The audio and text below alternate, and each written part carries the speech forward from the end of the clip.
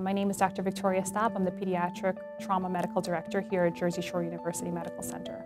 The most common situations that we see here at Jersey Shore Hospital for injured children are motor vehicle accidents, uh, children being struck by vehicles either while walking or while riding a bicycle.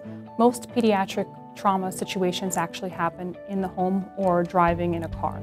Some advice that we can offer to parents to keep their children safe um, in the young age group under one, uh, supervision with being around uh, furniture and high surfaces to make sure the furniture are secured to the wall and to prevent falls and injuries with the child starting to be mobile to make sure they're not left unattended on high surfaces that could result in a fall.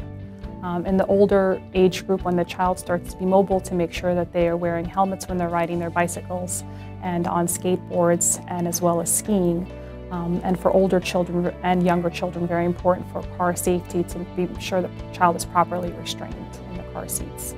Our pediatric emergency room physicians are skilled in assessing an injured child, and if they feel the child would be appropriately assessed by a trauma surgeon, they will consult uh, with the trauma physicians, and at that point, the entire pediatric trauma activation system gets involved, from our radiologist to our uh, intensive care unit physicians. Everyone is trained in how to take care of these injured children. If a subspecialist needs to be involved, we have our pediatric orthopedists and pediatric neurosurgeons as well as pediatric general surgeons available to take care of the injured child, all under one